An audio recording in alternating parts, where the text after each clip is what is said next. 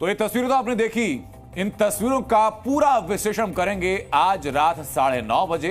तो आप जुड़े रहिएगा, क्योंकि शुरुआत एक और लीड स्टोरी से हम कर रहे हैं। शुरुआत अजमेर शरीफ दरगाह में हिंदू मंदिर होने के दावे के फैक्ट चेक के साथ। क्या अजमेर शरीफ दरगाह वास्तव में एक शिव मंदिर है? क्या अजमेर शरीफ दरगाह प्राचीन मंदिर को तोड़कर बनाई गई थी? क्या अजमेर शरीफ दरगाह मंदिर के खंडहरों पर बनाई गई ये तमाम वो सवाल हैं जिनके जवाब तलाशे जा रहे हैं और हिंदू सेना यही दावा कर रही है। और इन दावों के आधार पर राजस्थान की अदालत में ख्वाजा मोइनुद्दीन चिश्ती दरगाह को मंदिर घोषित करने की मांग की गई। इसी याचिका में मांग की गई है कि दरगाह में हिंदुओं को पूजा का अधिकार मिले। इस याचिका में मांग की महादेव शिव को दोबारा विराजमान किया जाए। इस याचिका में मांग की एएसआई को दरगाह के वैज्ञानिक सर्वेक्षण का निर्देश भी दिया जाए। दरगाह कमेटी का कब्जा हटाने की मांग भी की गई। यानी अब ज्ञानवापी परिसर की तरह अजमेर शरीफ दरगाह पर भी हिंदू संगठनों ने दावा ठोक दिया। लेकिन इस दावे का आधार क्या है? इस दावे में कितना दम है? तो जी न्यूज़ ने अजमेर शरीफ दरगाह में प्राचीन मंदिर होने के दावों का ऐतिहासिक साक्ष्यों के आधार पर फैक्ट चेक किया है। रिपोर्ट आप देखिए।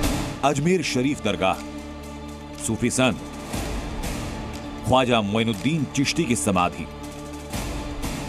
इतिहास में दर्ज है कि यह दरगाह मुगल बादशाह हुमायूं ने बनवाई थी, लेकिन अब करीब 800 साल बाद हिंदू संगठनों ने अजमेर शरीफ दरगाह पर अपना दावा ठोक दिया। मैं दरगाह में भी गया हूँ और वहाँ के लोगों से भी हमने बातचीत की है। जो वहाँ के लोकल बड़े बूढ़े हैं, जो 60 साल साल के लोग हैं, वो बताते हैं, हमारे पिताजी के साथ हम जाते थे तो नीचे हमने वहाँ शिवलिंग और ऊपर से मटके में पानी टपकते हुए भी देखा। हिंदू सेना ने अजमेर शरीफ दरगाह पर मंदिर होने का जो दावा पेश किया, उसमें एक बड़ी दलील ये कि किसी भी मुस्लिम किताब में यह दर्ज नहीं कि दरगाह का निर्माण खाली जगह पर किया गया। इससे यह साफ़ होता है कि दरगाह का निर्माण किसी अन्य इमारत को बदलकर किया गया। और हिंदू सेना का दावा ये कि वहाँ एक शिव मंदिर था, जिसे मुस्लिम आक्रमणकारियों ने नष्ट किया और फिर दरगाह बनाई लेकिन हिंदुओं के दावे ने अजमेर शरीफ दरगाह के मैनेजमेंट को भड़का दिया। कोर्ट में जाने का अधिकार सबको जाए ना कौन मना कर रहा है? कोर्ट में जाए ना मना नहीं कर रहा है। लेकिन ऐसी तंजीमों को रोकना चाहिए जो सिर्फ़ पब्लिसिटी के लिए इतने पवित्र धार्मिक स्थल के ऊपर उंगली उठाते हैं। कहाँ से लिया है तर भीतर तुम? 800 साल का इतिहास है सारा हिंदू मुसलमान संत बड़े बड़े बड़े बड़ी हस्तियाँ इस दरगाह से जुड़ी रही है। कभी आज तक ऐसी बात नहीं अजमेर शरीफ दरगाह है या मंदिर? अब ये न्याय के मंदिर में तय होगा। लेकिन इतिहास में अजमेर शरीफ दरगाह के बारे में क्या लिखा है? जब हमने इसकी छानबीन की तो हमें राजस्थान के मशहूर इतिहासकार हर विलास शारदा की किताब अजमेर हिस्टोरिकल एंड डिस्क्रिप्टिव मिली, जो वर्ष 1911 में छपी थी। इस किताब में चैप्टर नंबर आठ में अजमेर शरीफ दरगाह के इतिहास से लेकर वास्तुकला के बारे में बताया गया।